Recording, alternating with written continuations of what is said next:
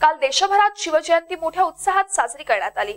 पुण्यातील वंदे मातरम संघटनेच्या वतीनंही शिवजयंती उत्सवाचं आयोजन करण्यात आलं होतं. शिवजयंतीचं औचित्य साधून संघटनेच्या वतीने समाजात मोलाचं योगदान देणाऱ्या संघटना आणि व्यक्तींचा सन्मानही केलाय.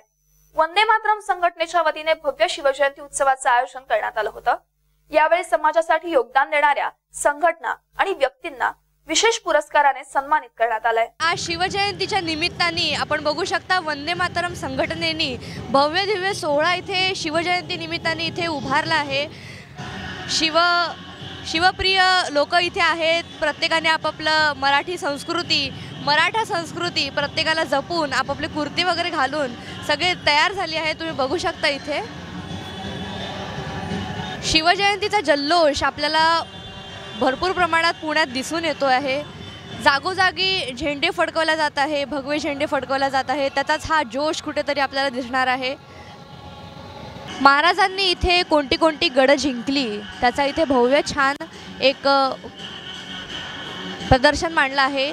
तुम्ही बघू शकता इथे की किती किल्ले कशा प्रकारे त्यांनी फोटोग्राफी करून इथे त्याचं पण प्रदर्शन सुंदर प्रकारे मांडले आहे.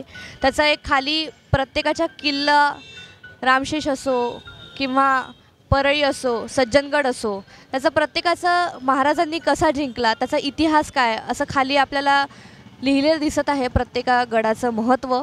यावेळी शहीद मेजर कौस्तुभ राणे यांच्या वीर माता पितांना वंदे मातरम संघटनेतर्फे स्वराज्य संरक्षक कृतज्ञता सन्मान देण्यात आला. तर पिंपरी चिंचवडचे सहाय्यक पोलीस आयुक्त श्रीधर जाधव साहेब यांना स्वराज्य संरक्षक पुरस्कार देण्यात आलाय.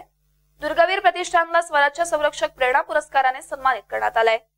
निवृत्त एअर मार्शल भूषण गोखळे यांच्या हस्ते या पुरस्काराचे वितरण करण्यात आलंय. या प्रसंगी गिरीश मोहिते उदय जगताप पुनीत बालन वैभव वाघ सचिन जामगे प्रशांत नरवडे संतोष देवकर इत्यादी मान्यवर उपस्थित होते. तर या कार्यक्रमाचं आयोजन आकाश गजमल नयन जोशी शुभम शिंदे अक्षय गजमल अनिकेत साळुंके चैतन्य सोशी यांच्यासह सहकार्यांनी केलंय.